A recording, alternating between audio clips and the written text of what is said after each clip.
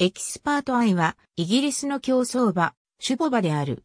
主な勝ち鞍は2018年のブリーダーズカップマイル。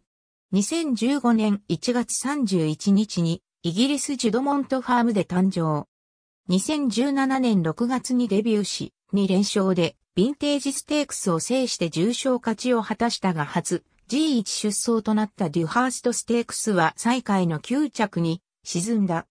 2018年は初戦のグリーナムステークス2着の後、A2000 ギニーでは10着に敗れたが、ロイヤルアスコット開催のジャージーステークスで4馬身半差の圧勝劇を演じて重賞2勝目を挙げる。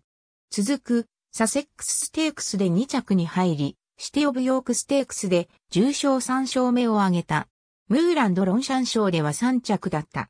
ランフランコデッドーリとのコンビで出走したブリーダーズカップマイルでは直線一気の差し切りで混戦を制し、5度目の挑戦で待望の G1 初勝利を飾る。イギリス調教馬としては1994年のバラシア以来24年ぶりの同レース制覇となった。